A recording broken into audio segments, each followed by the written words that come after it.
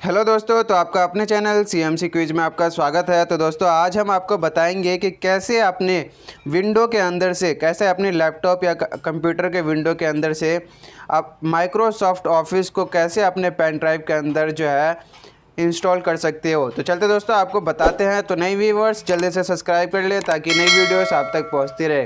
तो दोस्तों, कोपा में भी जो है, आपको सारा कुछ सिखाया जाता है कंप्यूटर से रिलेटेड तो चलते हैं, ये टॉपिक भी आपका मेन है। तो यहाँ पे दोस्तों सिंपली आपको सबसे पहले तो अपना पेन ड्राइव जो है, अपने लैपटॉप या अपने कंप्यूटर के अंदर आपको लगाना है। तो लगा लेते हैं दोस्तों, अपने कंप्यूटर के अंदर पेन ड्राइव तो कुछ इस प्रकार जो है, अपने कंप्यूटर के अंदर हम पेन ड्राइव पहले लगा लेते हैं। तो दोस्तों, हम लगा लेते हैं पेन ड्राइव पहले। तो ये जो हमारा पेन ड्राइव लग चुका है, उसके बाद दोस्तों, यहाँ पे आप देख सकते हो, जैसे ये एरो का बटन ऊपर करोगे तो यहाँ पे आपका पेन ड्राइव शो हो जाएगा।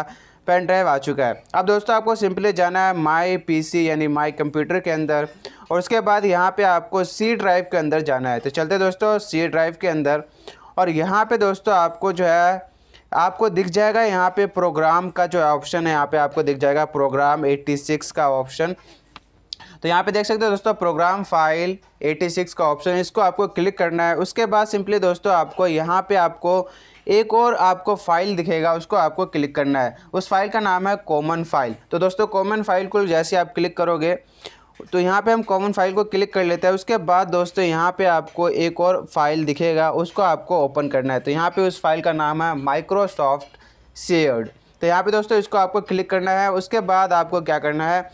तो दोस्तों उसके बाद आपको यहाँ पे सिंपली स्क्रॉल करना है और स्क्रॉल करके जैसे आप नीचे आओगे तो दोस्तों, यहाँ पे आपको ऑफ़िस ऑफ़िस 15 का जो है एक और फ़ाइल दिखेगा। तो ऑफ़िस 15 या आपके पास 16 है या 17 है, जो भी आपका ऑफ़िस है, वो दिख जाएगा।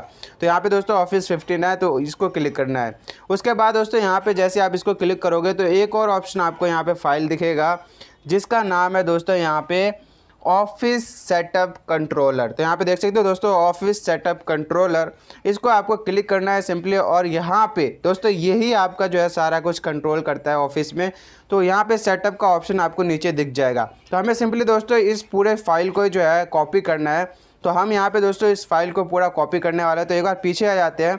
उसके बाद यहाँ पे जो ऑफ़िस सेटअप कंट्रोलर है, इसको करना है कॉपी। तो कॉपी कर लेते हैं, राइट क्लिक करके यहाँ पे सिंपली दोस्तों इसको कॉपी करना है। और अपने पेन ड्राइव के अंदर जाके इसको पेस्ट कर देना है। तो दोस्तों, जो भी आपका पेन ड्राइव है, उसको सिलेक्ट करना है। जैसे कि यहाँ पे नसीम जी है उस तो यहाँ पे दोस्तों आपको एक जो है फ़ोल्डर बना लेनी है। तो यहाँ पे हम बना लेते हैं फ़ोल्डर न्यू करके और यहाँ पे फ़ोल्डर क्रिएट करते हैं और उसका नाम दे देते हैं हम एम एस ऑफ़िस तो दोस्तों, आप कुछ भी नाम दे सकते हो। तो यहाँ पे सिंपली हम एम एस ऑफ़िस नाम देते दे देते हैं इसको। और यहाँ पे आप आपका जो है फ़ोल्डर बन चुका है। अब दोस्तों, यहाँ पे सिंपली इस फोल्डर को जो है ओपन करना है, जो हमने अभी बनाया था एम एस ऑफ़िस के नाम से। और यहाँ पे आपको जो है पेस्ट कर देना है। तो सिंपली दोस्तों, इसको ओपन करते हैं और यहाँ पे कर लेते हैं पेस्ट तो ये दो दोस्तों, एक दो सेकंड का टाइम लेगा और ये जो है आपका यहाँ पे जो है पेस्ट हो चुका। अब दोस्तों, यहाँ पे ये पेस्ट हो चुका। अब इसको रिफ्रेश करो और सिंपली दोस्तों, इसको क्लिक करोगे तो नीचे जो आपका सेटअप का ऑप्शन दिख जाएगा। इस पर जैसे दोस्तों, यहाँ पे क्लिक करोगे आप इस पर जैसे ही दोस्तों क्लिक करोगे तो आपको जो है यहाँ पे यहाँ पे देख सकते हो दोस्तों नोटिफिकेशन आ चुका है कि यहाँ पे आपका जो है इंस्टॉल हो रखा है। पहले आपको अनइंस्टॉल करना पड़ेगा, फिर से इंस्टॉल कर सकते हो। तो दोस्तों हमारा जो यहाँ पे इंस्टॉल हो चुका है, आप किसी और विंडो के अंदर, किसी और लैपटॉप या कंप्यूटर के अंदर करोगे तो आपका सिंपली हो जाएगा। तो आशा करते हैं दोस्तों आप लोग समझ गए होंगे। तो थैंक यू दोस्तों thank you for watching and keep subscribe